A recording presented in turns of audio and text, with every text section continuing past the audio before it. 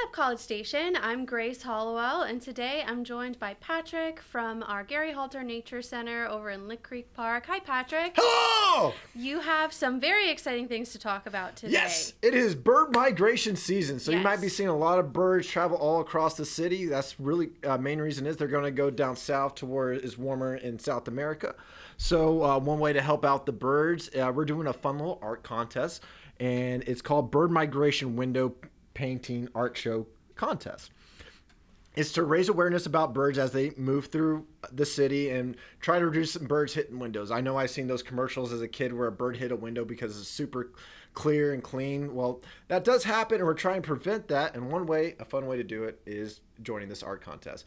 Uh, you can uh, use, you know, acrylic paint, paint the windows. The paint will come off.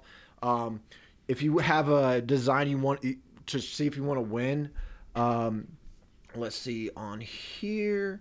Uh, we'll uh, to enter the contest, submit a photo of your painted windows to parks and cstx.gov or by replying directly to this email. By October 20th, we'll share the top three designs or social media and have the community vote for the winner. Winners will be announced on October 23rd.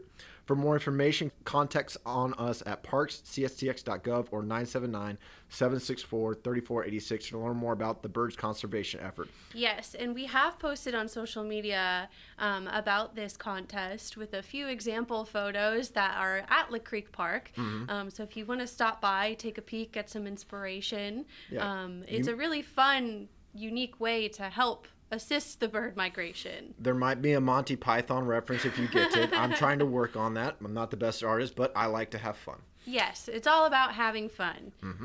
Which leads us to our next one, Trunk or Treat uh, at Wolf Pen Creek on October 25th from 5 to 8:30 p.m. Uh, we'll have some trick or treat, some games, and we're also giving away giving away trees to the public. So if you want a, a tree planted in your yard to remember this moment, come by to uh, Wolf Pen Creek for Trunk or Treat. Yes, trunk or treat, Mm-hmm. T R E E T. Um, and this is in partnership with the A and M Forest Service. Correct. Yes, it is a unique event. I know the tree that I have in my front yard um, is not doing so well, so I might stop by to get another one to replace Yeah. it.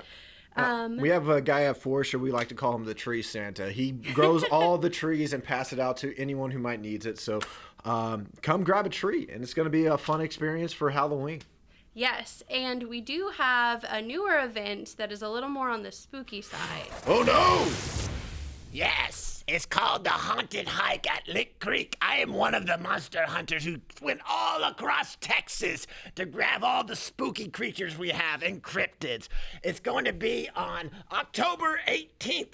6:30 to 9:30. You got to be 13 or up because we are trying to be spooky and scary. It's tis the seasons. We'll have fire pits, we'll have a movie, and more importantly, we'll have a haunted hike without the Jurassic Park incidents where dinosaurs escape. That won't happen here. I am a very, very good monster hunter.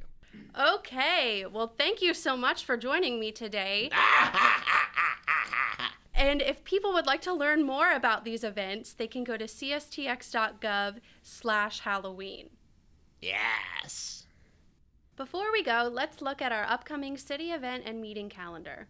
The Fall Homegrown at Northgate is from 11 a.m. to 3 p.m. on Sunday, October 13th at the Northgate Promenade.